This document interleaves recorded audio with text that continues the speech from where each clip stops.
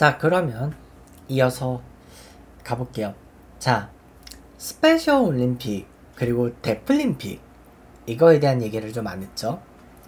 패럴림픽 부분이 좀 분량이 많아서 따로 분리를 했어요. 음.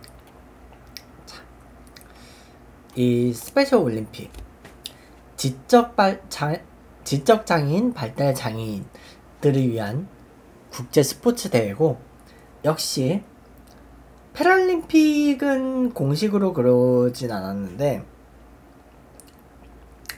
그 스페셜 올림픽이랑 데플림픽은 올림픽 용어를 사용할 수 있게 허락을 받은 대회예요. 음. 그렇게 됐고 그 이 스페셜 올림픽을 만든 사람은 유니스 케네디 슈라이버 슈라이버 집안이랑 결혼, 결혼을 했기 때문에 슈라이버 그 라는 성이 생겼는데요. 이 유니스 케네디 슈라이버가 누구냐면요. 그 유명한 케네디 가문의 구남매 음. 케네디 가문의 구남매 중에 존 F 케네디 전 대통령이 둘째거든요.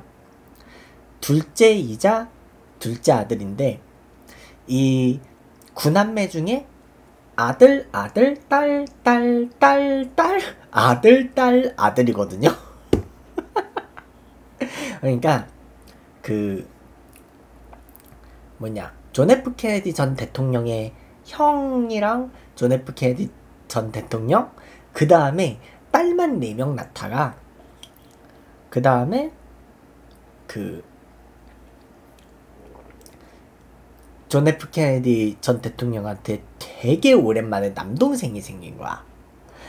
남동생이 생기고 그 남동생이 그 로버트 로버트 케네디죠. 그 물론 이제 그 전 법무장관. 그래서 그 로버트 같은 경우도 이제 형의 뒤를 이어서 대권 주자로 출마를 했다가 암살을 당해요. 대통령은 못 되고 암살당해. 그리고 그 다음에 이제 여덟째가 다시 딸, 아홉째가 다시 아들. 해서 그 아들 중에는 일곱 아들 중에는 막내만 제명대로 살아요.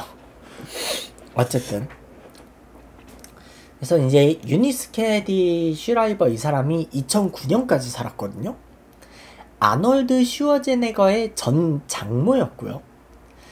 왜냐면 첫째 장녀이자 둘째인 마리아 오잉스 슈라이버의 전 남편이 아놀드 슈워제네거라는 사람이에요. 음 그렇다고 하고 그래서 전 장모. 그래서 이 사람은요 그 40대였던 1963년에 메릴랜드에서 지적 발달 장애인들을 위해서 일일 캠프를 열었었어요. 왜냐면 이제 그 유니스가 지적 발달 장애인들을 위한 사업을 그 자선 사업을 했었어요. 이 자선 사업을 했던 이유가 이따가 얘기하겠지만 그 유니스의 언니 언니 중에 이제 케네디 구남매 중에 셋째가 로즈메리라고 있어요. 로즈메리 케네디라고 있는데 이 사람이 지적 장애가 있거든요. 그 대뇌 전두엽 그 절제술이 좀 잘못돼가지고 그러니까 약간 다운 증후군이 있어서 수술을 했는데 그 뇌 수술이 더 실패를 해가지고 진짜 완전히 그 어린아기 수준의 그 지능을 갖고 죽을 때까지 살았다 그래요. 한 2005년인가까지. 그래가지고 네. 그 언니를 기리기 위해서 자선 사업을 했었다 그래. 유니스가.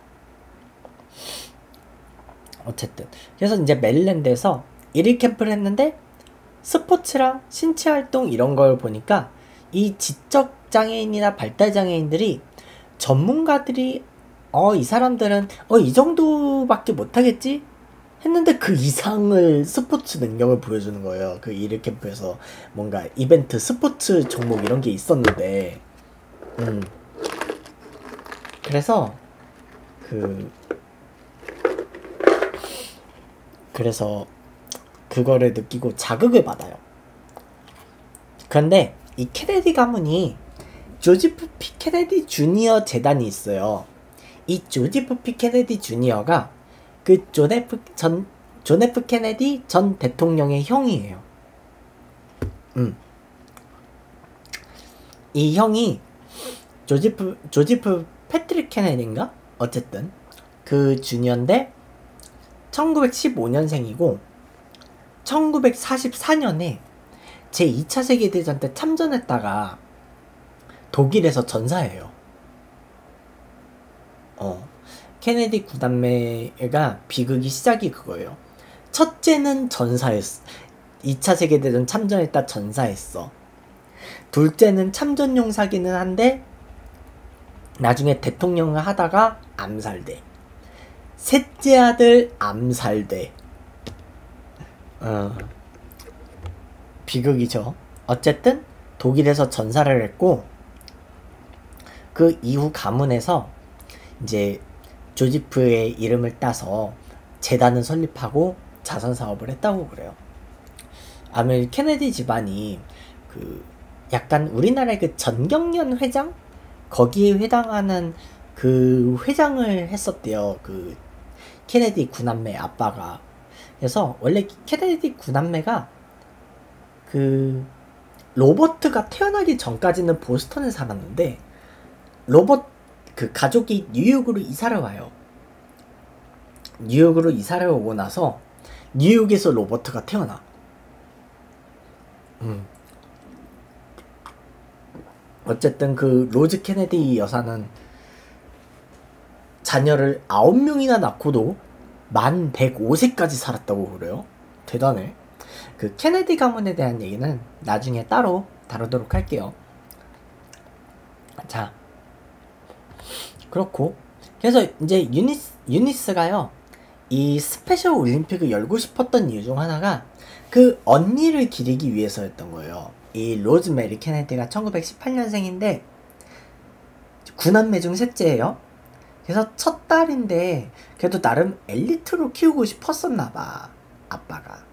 그래서 원래 엄마가 그러고 싶었는지 모르겠는데 근데 이 다운 증후군이 있었대요. 그래서 정신 박약이 좀 있었대. IQ가 60에서 70 수준밖에 안 됐었대. 그래서 좀 이거를 좀 개선을 하고자 전두엽 절, 절제술을 좀 한 거야. 대뇌 전두엽 있죠? 그 최종훈 씨 때문에 잘 알려진. 근데 이 전두엽 절제술이 좀 잘못돼가지고 지능 수준이 그전에는 초등학교 4학년 한 10대 초반 수준이었는데 그 지능 수준이 두 살 수준으로 퇴화가 돼버렸대요. 그래서 그 이후에는요. 그래서 다른 이의 도움 없이는 그 거동도 불편했을 정도로 진짜 다리, 평생 다리를 절면서 다녔대요. 어릴 때 수술이 잘못돼가지고. 그래서 어릴 때는 그래서 어릴 때는 계속 가족들이랑 같이 살았는데 그래서 그 존 F 케네디 전 대통령의 아빠가 한때는 이 주영 미국 대사로 임명된 적이 있었어요. 그래서 잠깐 런던에 가서 살았던 적도 있는데 그때 그때를 전후로 해가지고 네 그때를 그때를 전후로 해가지고 이 아마 비공개 요양 시설로 보내졌다고 그래요. 그래서 유니스 같은 경우는 언니 로즈메리가 안타까웠겠죠. 그래서 그 언니를 좀 기리고 싶어서 그래서 스페셜 올림픽을 만들었다고 그래요. 그래서 첫 대회는 아무래도 이때 그 개최 도시를 좀 찾아보다 보니까 시카고에서 시작하게 된 거야. 시카고의 솔더필드에서 시작을 하게 돼요. 그래서 이때는 이런 신념을 갖고 있었어. 수많은 장애인과 비장애인이 함께하는 스포츠 축제로 장애인에 대한 부정적인 태도를 바꿀 수 있으며 장애인을 받아들이고 축복을 해줄 수 있는 새로운 기회가 반드시 올 것이다. 이런 신념이 있었, 대요 그리고 그래 이 케네디 가문이 돈이 많았잖아. 그래서 이 케네디 재단이 어느 정도 돈이 있어가지고 IOC로부터 올림픽이라는 명칭을 쓸 수 있게 허가까지 받고 시작을 한 거야. 그래서 스페셜 올림픽이 된 거예요. 2회 대회도 똑같이 시카고에서 했고, 그래서 그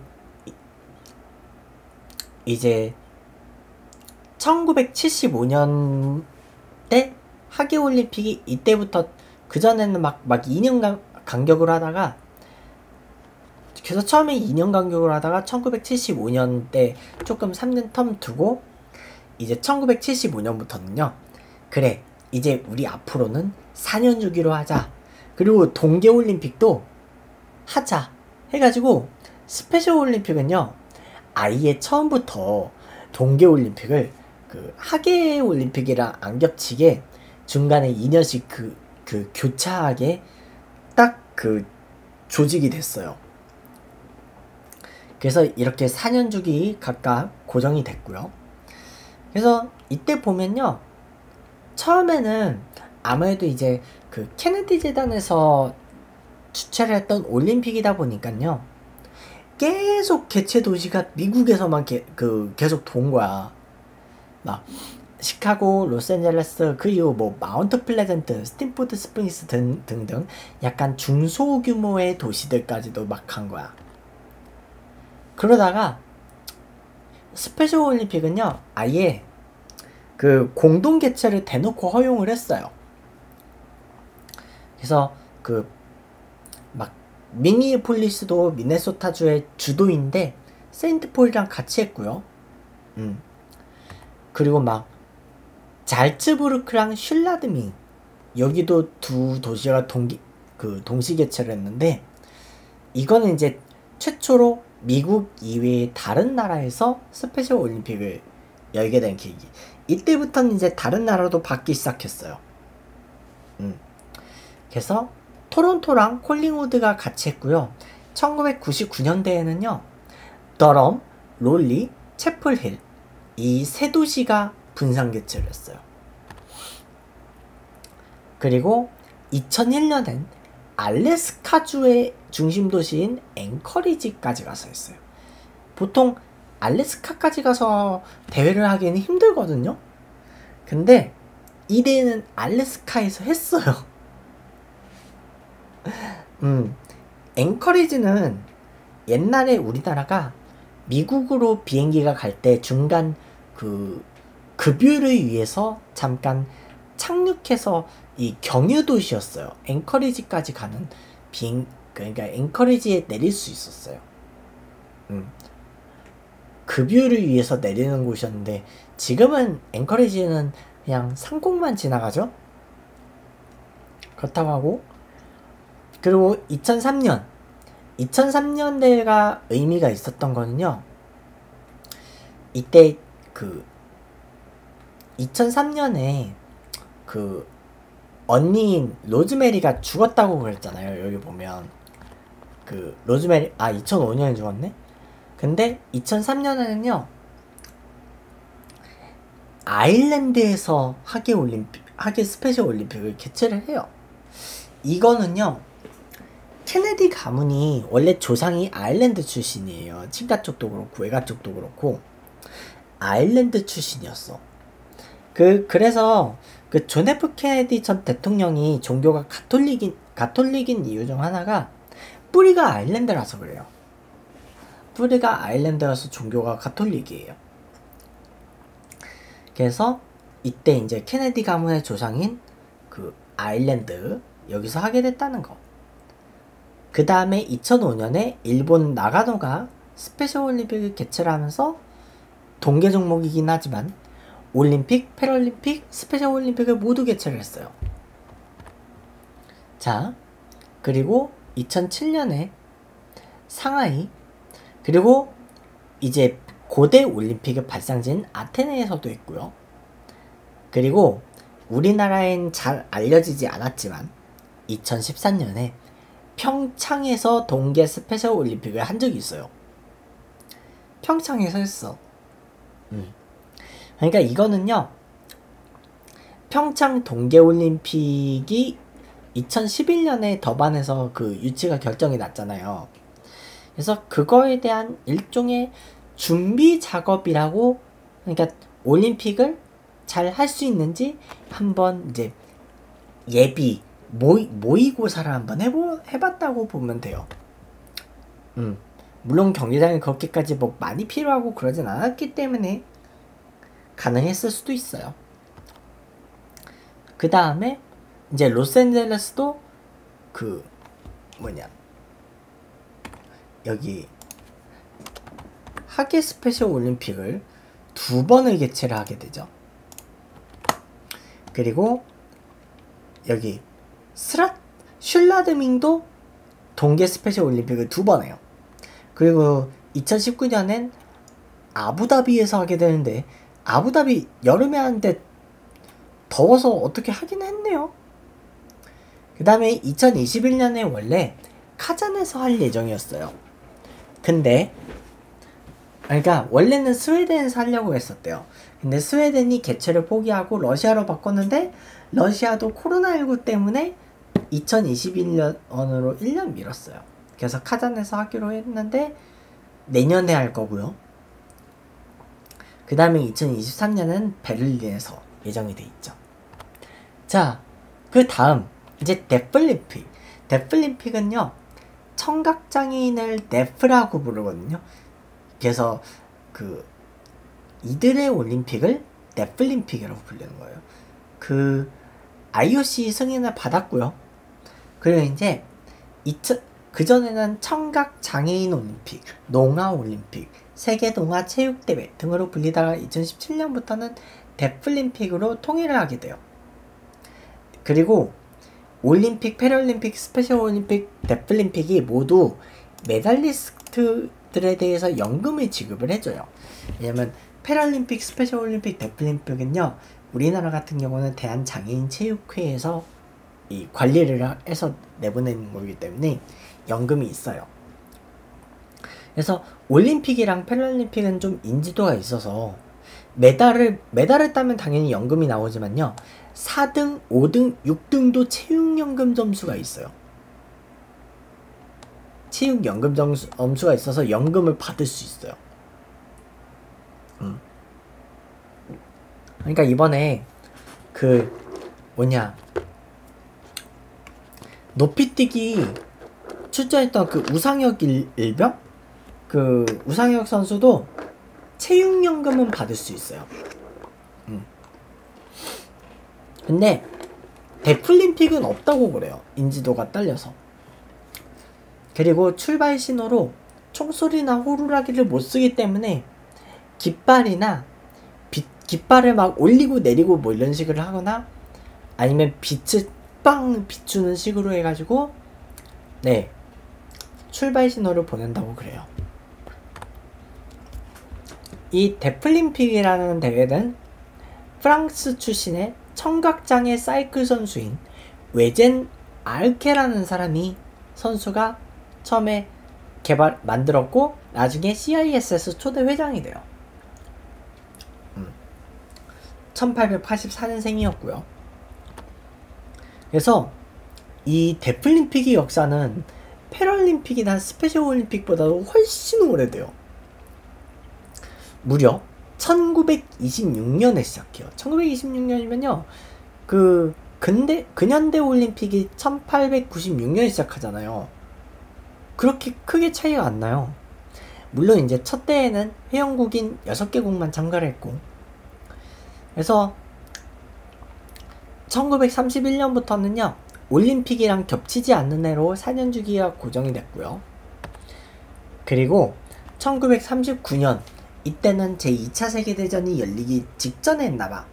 그래서 하기는 했고 그 이후 전쟁 및 전후 복구로 인해서 10년 동안 대회가 없어요. 10년 동안 대회가 없고 그 다음에 10년 뒤에 그 대회를 다시 준비를 해서 오는데 아예 동계 데플림픽도 이때 만들어요.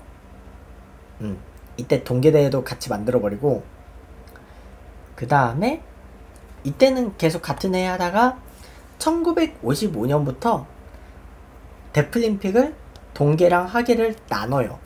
다른 시기에 하게 돼. 그리고 음, 그 다음에 1959년부터는 데플림픽도 두 개 도시 분산 분산 개최가 허용이 돼요. 자, 그리고 베오그라드. 베오그라드에서 한 적이 있는데 당시 유고슬라비아의 수도였고 지금은 세르비아의 수도죠. 음.